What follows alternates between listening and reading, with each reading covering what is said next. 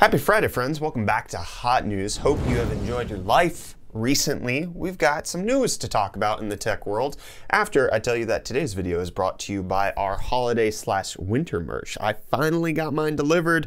Look at this RGB tech tree. It's amazing.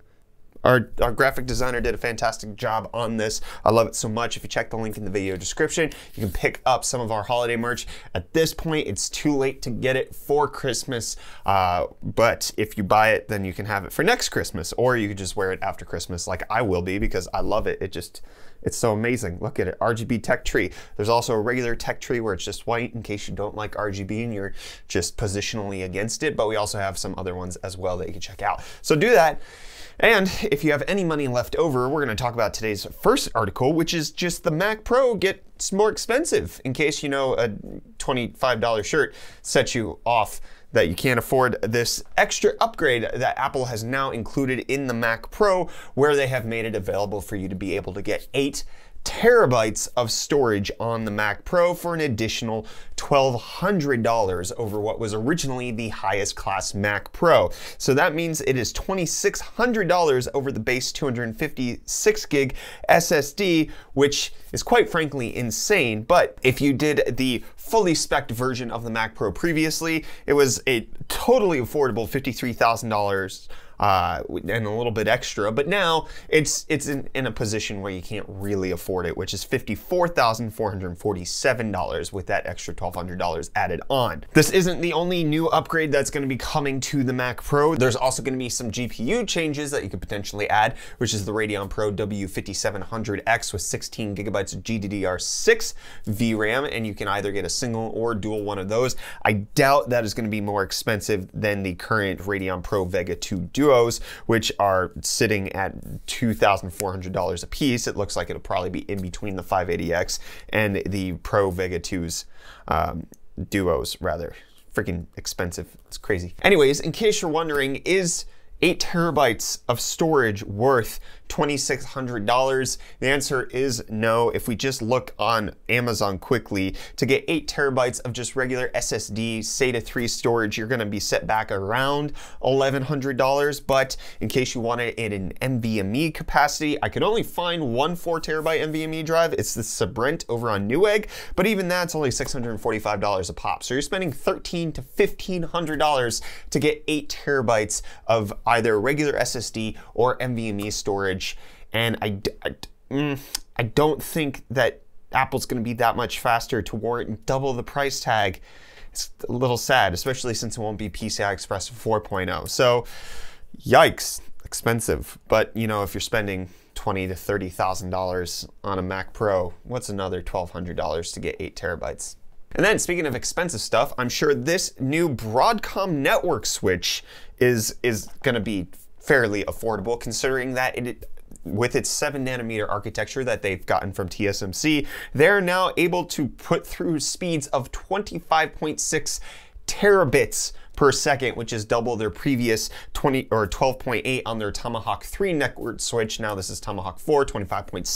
This is obviously used in very enterprise solutions with companies like Google and all of them using these insanely fast network switches. But also coming out with something super fast, NVIDIA announced their Drive AGX Orin platform, which is going to be a replacement for their Xavier SoC that they've been using for autonomous vehicles. This one is supposedly seven times the performance of the previous Xavier SoC with 200 trillion operations per second. This obviously allows it to do deep learning and make sure that it can do level two to level five autonomous vehicle driving. But NVIDIA, even after getting spurned by Tesla, who decided to make their own chips, we talked about that in a hot news episode a long time ago. Anyways, they're still pushing forward with autonomous vehicle chip production, even if uh, one of the biggest electric vehicle makers is not going with them. But speaking of Tesla, yesterday they announced the first, world's first introduction of DLC for a car. Yes, my friends, in case you want to spend an extra $2,000 on your Tesla Model 3 all-wheel drive,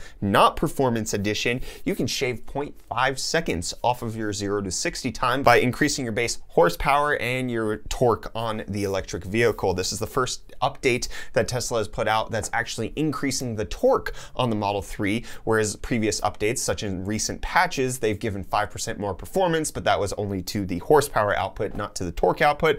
Regardless, $2,000 paid DLC. We're living in the future, my friends. You can download faster cars that is that is now happening. So it's originally quoted that the all-wheel drive version of the Model 3, which has dual motors, would do 0 to 16 4.4 seconds. Now with this new update, they're saying it's 3.9. However, because of other updates that have happened and real-world testing, it's actually looking like the all-wheel drive versions are coming in at 3.7 seconds. Compare that to the Performance Edition, which is still faster. That that runs about 2.9 seconds right now, 0 to 60, which is just crazy. It's it's super speed. But Tesla has been going super speed at installing their superchargers, or not really because they haven't hit their targets, but they just announced that they have installed their 15,000th supercharger. That's not supercharger locations, that's still around 15 to 1700, I believe, but 15,000 total superchargers installed in the Tesla network. And in case you're in San Francisco and you can't get to a supercharger, EVgo just announced a partnership where they're going to have Tesla adapt or Tesla plugs so that you can plug in your Teslas there. That's all the Tesla news. Let's get on into some computer components, which is that Gigabyte uh, apparently has some filings with the EEC showing off that one, the 5600 XT from AMD is real, but then also they're going to be launching a brand new line of cards. Typically, they've been having the gaming and the WindForce edition. Now they're going to introduce an Eagle. Eagle. so in case you wanted to fly high and soar on the wings of graphics with a card, Gigabyte's got you covered with the Eagle Edition. And in case you want special editions of your computer case, NZXT has announced their World of Warcraft special editions of the H510 case coming in both Alliance and Horde. They're gonna have about a thousand units of each coming in at a total price of $200 a pop. Whether or not that's worth it depends on how much you love WoW. So check that out. It's a bit delayed because WoW Classic hype is basically dead as far as I know, but I don't know. It's not my thing. I don't play WoW. And I don't play blockchain games, neither does anybody else in the world, but that doesn't stop AMD from announcing that they're partnering with other companies to create a blockchain game alliance for blockchain games. I don't understand. I know how blockchain can be used in games and how it can keep track of items. And yeah, sure, blockchain technology is fantastic. It just looks like a solution looking for a problem rather than it's actually fixing issues that we actually have in games. Great, blockchain's a new payment platform. Our payment platforms aren't really broken.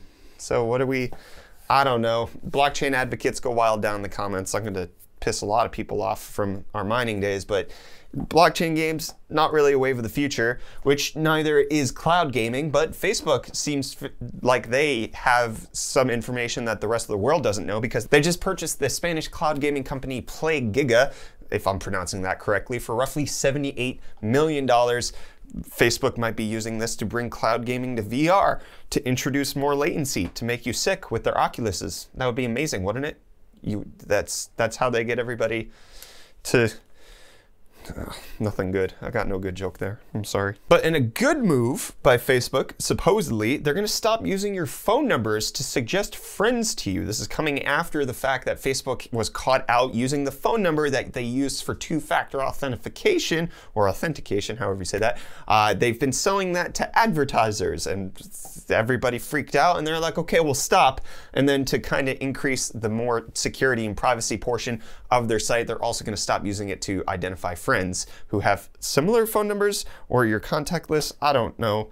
I, you know, I just, Facebook, stop using my data. But just because they're going to stop using your phone number doesn't mean they don't they want to stop being on your phone because it's been announced that Facebook is working on developing their own operating system. This is going to be on the behalf of Mark Lucovsky, who is apparently a co-author of Microsoft's Windows NT. He's going to be building Facebook's operating system for phones and probably like everything that they're building, like the Facebook portal and all that stuff, which this is a great plan. You know, this is just like the Facebook phone that they released that everybody went out and purchased because everybody loves Facebook and wants to give them more access, root level access to all of the things that they're doing. Facebook obviously doing this so that they could have more control and not giving the power over to Apple and Google because they hate those companies. They want to be the supreme overlord of the reptilians. So, you know, you can't you can't have Tim Cook being the supreme overlord of the reptilians. It's got to be the Zuck. And then Intel apparently has acquired the chip maker Habana Labs, who's known for their artificial intelligence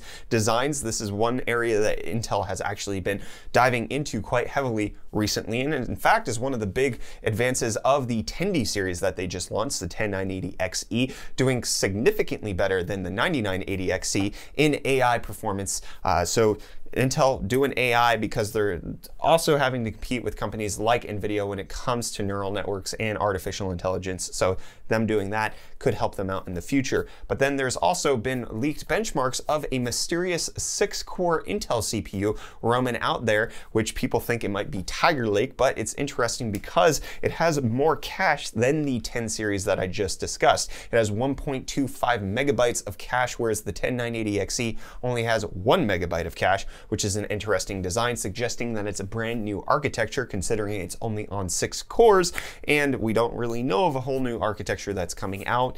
Intel hasn't really announced a whole lot, so this could potentially be something good. Which, speaking of something good, a lot of people enjoyed Star Wars Jedi Fallen Order. I'm not talking about The Rise of Skywalker because I haven't seen it, so I have no spoilers for you, but I'm sure people down in the comments do, which is why you're not supposed to read the YouTube comments, my friends. Anyways, Respawn hit success with that, and it looks like they're trying to get new developers to help produce sequels by having a job listing that says they're uh, looking for a candidate that's invigorated by the idea of coding third person action adventure games and has the expertise to create an incredible Star Wars experience. Bam! There you go. More Star Wars games. And speaking of fiction invading reality, in case you wanted to know whether or not uh, the United States had a trade partnership with the country of Wakanda, well, you don't need to wonder anymore because the U.S. Department of Agriculture listed Wakanda as a trading partner in the agricultural tr uh, tariff tracker there you go.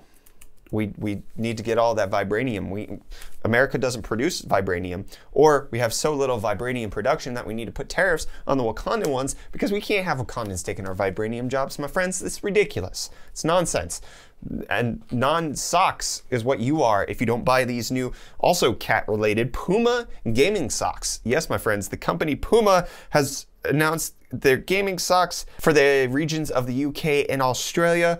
They're saying that it has medial wrap up grip for your seek mode, lateral wrap up support for your attack mode, and heel wrap up stability for your cruise and defense modes with its active gaming modes, and that it's created with console gamers in mind. What console gamers get off the couch? Like PC gamers, sure, because you're actually doing VR and you stand up and you have full room scale VR, but console gamers? Anyways, these are gonna set you back about $86 after conversion. What? Puma gaming socks for the mobile freaking console gamers out there. Good stuff. Anyways, I'm, I'm to end this episode of Hot News just being super perplexed because I freaking don't know why you need gaming socks, but all I know is I'm to spend $86 to get them myself. So, Spend some money on us by picking up our holiday merch at the link in the video description. Hit the like button to get subscribed, no, and get subscribed to stay up to date on all of our tech related content news and otherwise. Really appreciate all you guys. Have happy, happy holiday season. That's what I'm trying to say there. Really appreciate everybody who supported us here at UFD Tech this year. Uh, our editor is going on a couple week break, um, which is going to make things weird as far as video production. So, in case I don't see you, good afternoon, goodbye.